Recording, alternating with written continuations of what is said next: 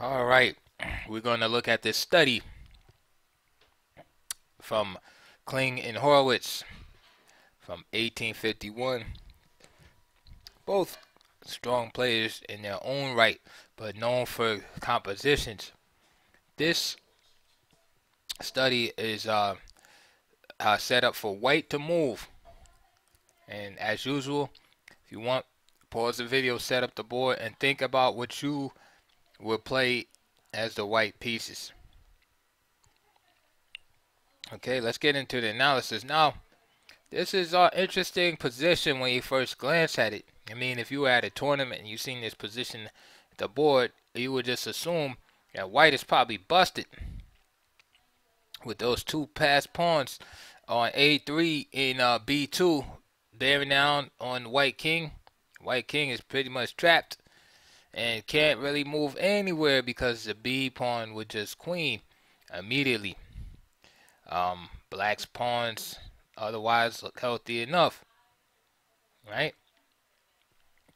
And meanwhile, white has his double pawns on the F file and um, and a G and E and C pawns. You know, it looks like um, you know the white king, excuse me, the black king would just come down, say A7 play a5 and uh, excuse me a7 um, b6 and just pick up the c pawn and you know the game should be over shortly. So that lets us know that with white to move this move is critical. You know this is this is critical here. Um, one thing to notice about the white's uh, black's position rather is that the king is in the corner. You know, the king is way over on a8. And another feature is the um to bring out another point to bring out is the four to three king side pawn majority that white holds here. All right. So if I'm white, I know I can't move my king, right? Except the b1. And if I move the b1 then um, you know I don't see any uh, any further prospects uh, for White. The game is probably uh, over. Say to move like e6. Okay, so if you've been looking at my other videos in this series, you will notice that when there's um, a single pawn on the um, second rank, whether it's uh, in this case black the seventh rank or white the second rank, there's a single pawn there defending right here. And you have these two pawns. You should be looking for a sacrifice in order to exploit this. And this is what I mean. In this position, f5 is a great move here. Why? Let's look. G takes f5 now you see what I'm talking about. E6 forces the hand of black.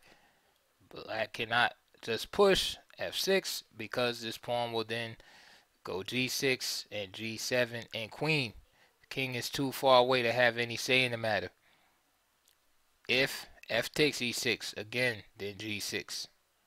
Okay, that's the idea. Anytime you see this type of scenario, and this is why, again, this everything chess is connected. This is why space is important in chess because when you have space, in this case, white has more space on the king side with these pawns being on the fifth rank.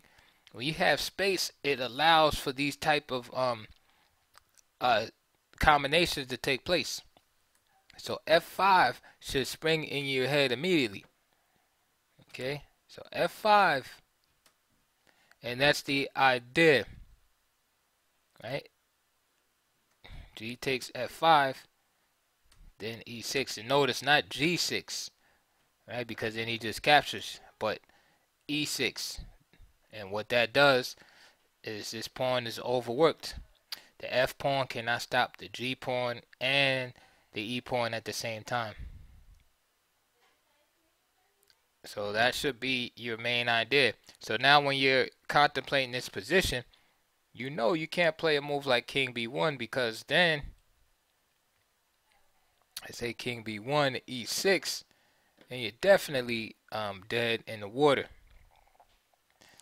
Okay, so e6. Excuse me, f5. So after f5, we already showed that this is winning for white. Like what a change, what a turn of the tables. But instead of that inferior move being played by black, black simply plays e6.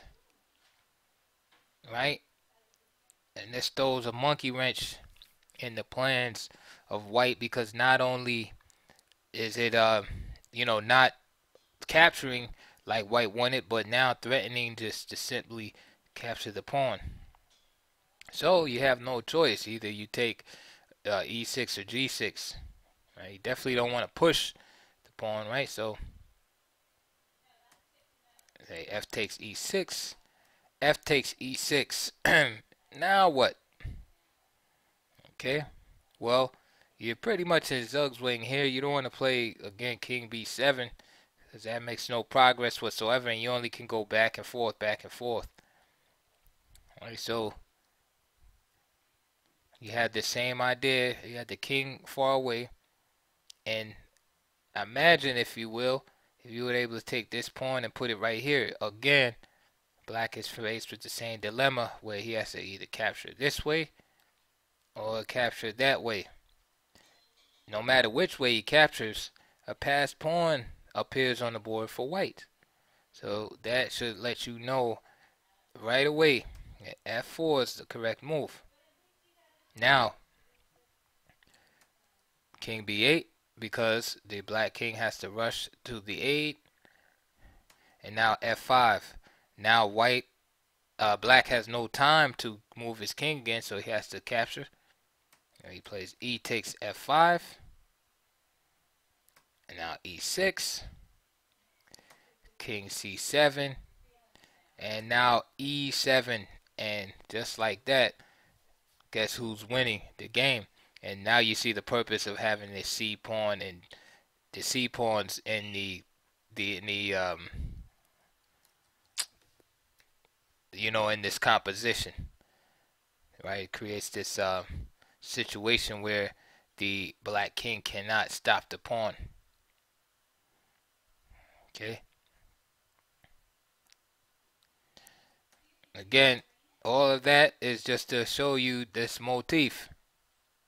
Right? Again, about the um, the pawn majorities and also showing you the weakness you know in the um you know when the king is all the way in the side of the board and you have space against your opponent. All right. Always look for a situation like this. Uh, the sack pawns. Like I said, when you had the one defender in the back, you know, like I said, this is the main idea. Once you see this, this idea, you know this is correct. And then once once he plays e6, then it's kind of like, you know, the same idea is is there. g4, g5, one of these pawns has to capture. And you got it. If he takes with the other pawn, you just, you know, play g6. So the same same scenario. Alright, so again, it shows you that, you know, each position, you know, has its little nuances and even in a seemingly, seem, seemingly hopeless position, that there is sometimes a way out.